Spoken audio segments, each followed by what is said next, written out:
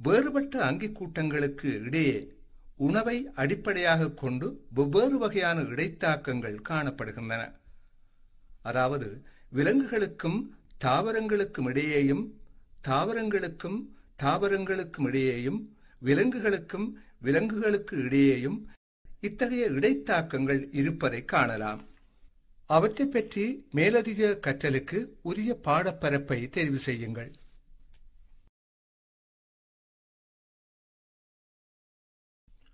தாவரங்களுக்கும் விலங்குகளுக்கும் இடையே உணவை அடிப்படையாக கொண்டு பல்வேறு இடைத்தாக்கங்கள் காணப்படுகின்றன. இது உணவுச் சங்கிலி என அழைக்கப்படும்.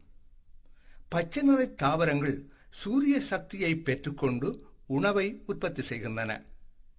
வெட்டுக்கிளி இத்தாவரங்களை உணவாக கொள்கின்றது. தவளை வெட்டுக்கிளியை உணவாக கொள்கின்றது. சாரைப்பாம்பு தவளையை உணவாக கொள்கின்றது. பருந்து சாரிப்பாம்பை உணவாக கொள்கின்றது.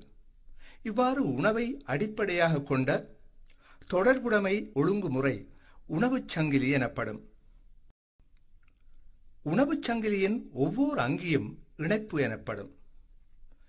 முதல் இணைப்பானது முதல் உற்பத்தியாளர் எனப்படும் அதே வேளை அது எப்பொழுதும் ஒரு பச்சை நிற தாவரமாக அல்லது தாவரத்தின் ஓர் உற்பத்தி பொருளாக இருக்கும்.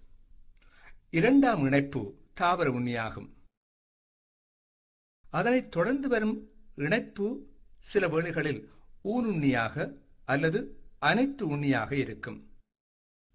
உணவுச் சங்கிலியில் அடுத்துள்ள இரு இணைப்புகளுக்கும் இடையே உள்ள தொடர்பு அம்புக்குறியினால் காட்டப்படும். அதிலுள்ள அம்புக்குறியின் தலை அடுத்த போசனை மட்டத்தை காட்டுகின்றது.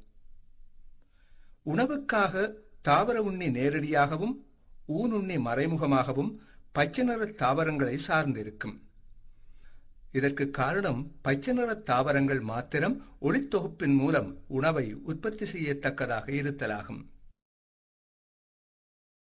ஒரே வகையான உணவை உண்ணும் பல விலங்குகள் இருப்பதனாலும் ஒரு விலங்கு பல உணவு வகைகளை உட்கொள்வதனாலும் பல உணவுச் சங்கிலிகள் ஒன்றோடு ஒன்று சேர்ந்து ஒரு சிக்கலான வலையை உருவாக்குகின்றது.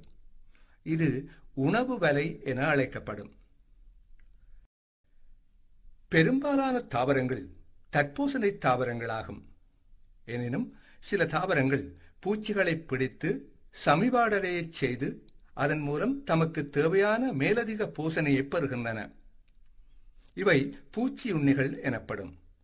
இதுவும் தாவரங்களுக்கும் விலங்குகளுக்கும் இடையே உள்ள உணவை அடிப்படையாக கொண்ட ஒரு தொடர்புடைமையாகும். கெண்டித் தாவரம் கதிர்ப்பனை பூண்டு சவுப்பயுறு பூண்டு போன்ற தாவரங்களை பூச்சி உண்ணும் தாவரங்களுக்கு உதாரணங்களாக குறிப்பிடலாம்.